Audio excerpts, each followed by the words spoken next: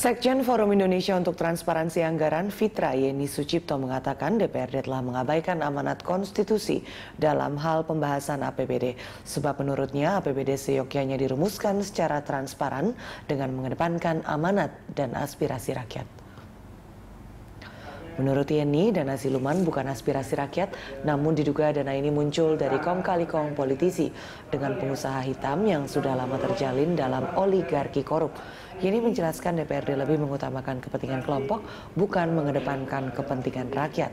DPRD juga dianggap lemah dalam melaksanakan fungsi pengawasan anggaran. Sebaliknya, salah dalam menggunakan kewenangan budgeting. Fitra juga menuntut DPRD DKI Jakarta agar segera mencabut hak angket yang cenderung dipolitisasi.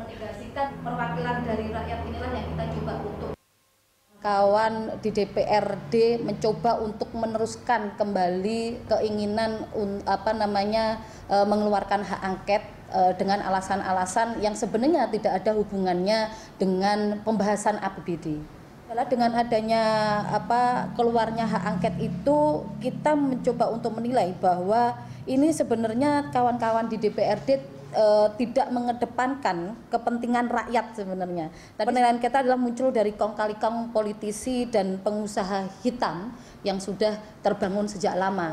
Asumsi-asumsi alokasi dana-dana siluman yang dianggap e, oleh pemerintahan provinsi di mana tidak menjawab prioritas-prioritas program di dalam kebijakan umum anggaran itu sebenarnya berpotensi pada pengembalian dana